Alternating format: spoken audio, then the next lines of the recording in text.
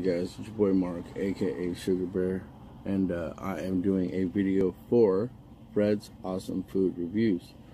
Now, what I'm going to be reviewing today is not a food, it's more of a drink. um, and most certain types of people will know what this is. Um, today we got a 32 ounce bottle of Faygo cotton candy. Um, I personally have never tried this one. I've had very different had different flavors of Faygo before, but never the cotton candy.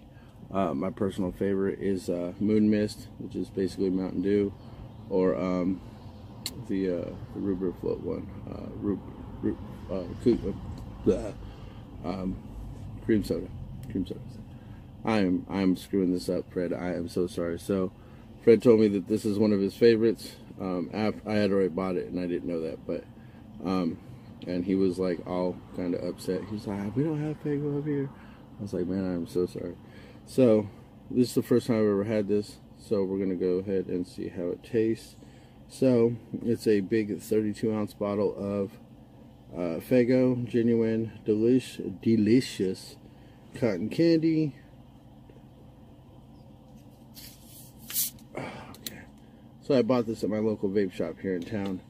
Um, they sell them two for three dollars, which isn't honestly a bad deal. Um,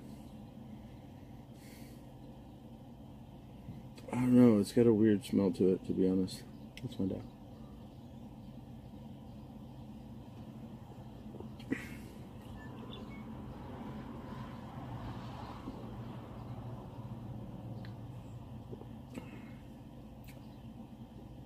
I don't know.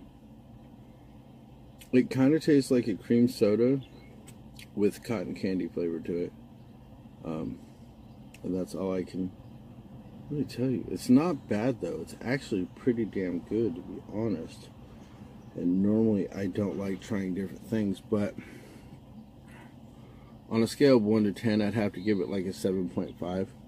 Um, it is good though. Like, I'm not to lie straight up. This is probably, I've never had a cotton candy soda before, so this is like the best so far.